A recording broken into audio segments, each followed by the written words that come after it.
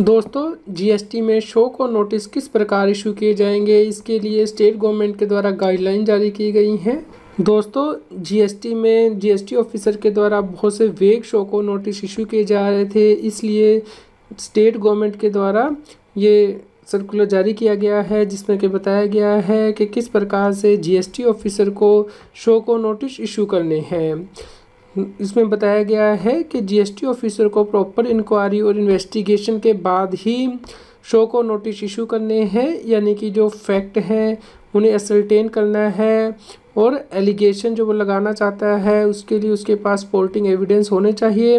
और जो जीएसटी में शो को नोटिस इशू किया जाएगा, वो जो जीएसटी एक्ट और रूल के अकॉर्डिंग फॉर्म दिए गए हैं उस फॉर्मेट में ही इशू किया जाएगा, क्योंकि नॉर्मली देखा गया है कि जीएसटी ऑफिसर उस फॉर्म को फॉलो नहीं करते हैं, जो कि जीएसटी एक्ट में दिए गए हैं, उसमें से कोई लाइन जो है वो डिलीट कर देते हैं, जैसे कि किस दिन पर्सनल हेयरिंग होनी है, इस एक्स्ट्रा इसलिए ये जो है गाइडलाइन जारी की गई हैं, और ये भी बताया गया है कि जो नोटिस है वो फैक्ट और लीगल प्रोविजंस के लिए बिल्कुल क्लियर होना चाहिए, यानी कि कौन से आरोप जीएसटी ऑफिसर लगा रहा है कि जीएसटी एक्ट की कौन सी प्रोविज़न को वायलेट किया गया है, वो क्लियरली मेंशन करने होंगे शो को नोटिस में।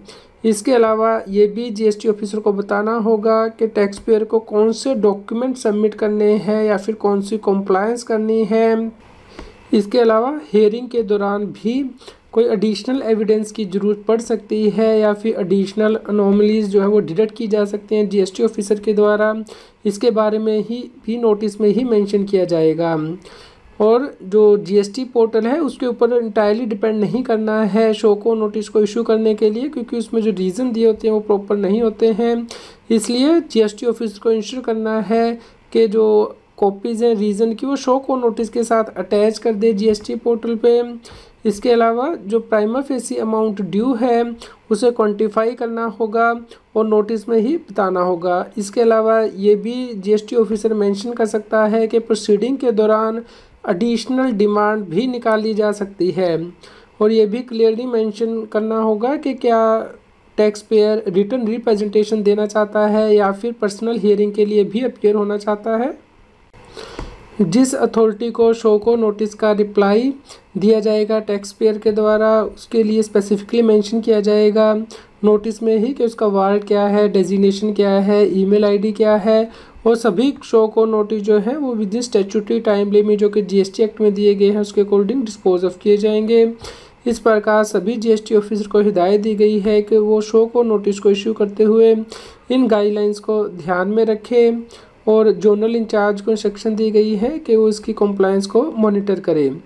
दोस्तों, ये जो गाइडलाइंस हैं, वो दिल्ली गवर्नमेंट के द्वारा इशू की गई हैं। तो आपको इंश्योर करना है कि जो आपको जो शो को नोटिस मिला है, उसमें सभी जो है रूल फॉलो हुए हों। अदरवाइज़ आप उस शो को नोटिस को चैलेंज कर सकते हैं। उम्मीद करते हैं दोस्तों, आपके लिए यह न्यूज़ यूज़फुल रही होगी। कृपया लाइक कीजिए और शेयर कीजिए। ताकि सभी लोगों तक ये जानकारी पहुँच पाए और वो जीएसटी की कॉम्प्लायंस कर पाएँ।